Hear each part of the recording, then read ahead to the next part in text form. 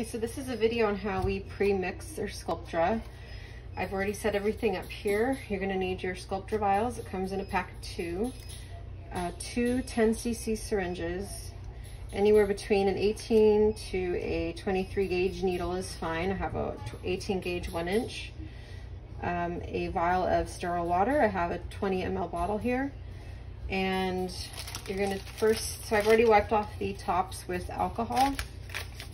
And you're gonna make sure to do this 72 hours before the Sculptra is injected.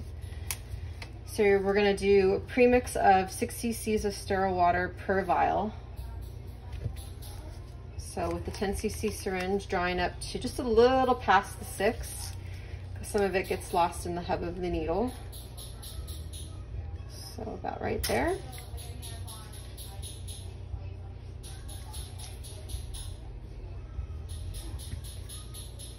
And there is no vacuum on it, so you have to push it in.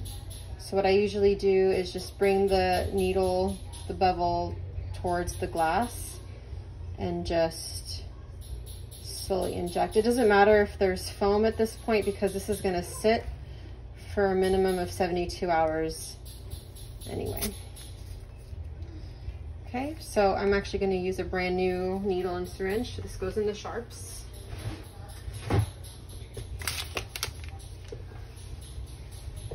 And then once you've injected it, you're just gonna swirl it.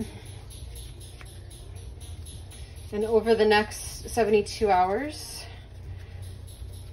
this can stay reconstituted for up to 30 days.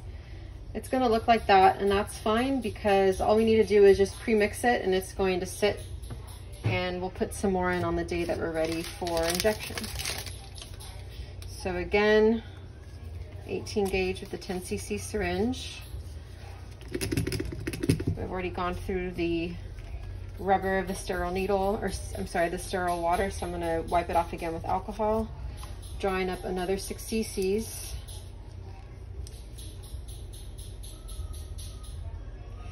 So just a little pass, so 6.2.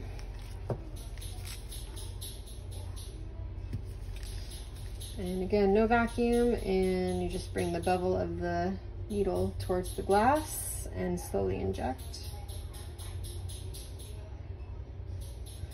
So I've used premix Sculptra that's been sitting for longer than 30 days, but the on-label instructions say after 30 days it needs to be used.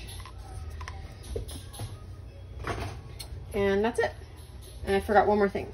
So on the bottle, you're going to write the date that it was pre-mixed. So today's 11-3. And just putting what I mixed it with, 6 cc's of sterile H2O. And then I'm also writing it in the box. 6 cc sterile H2O. And you actually store it, I'm gonna just store it room temperature in our case here. You want it to make sure it's warm to room temperature once before you inject it. So whether you refrigerate it or keep it room temp, it just needs to warm before you inject it. But the on-label instructions say you can keep it stored at room temperature after you've pre-mixed it.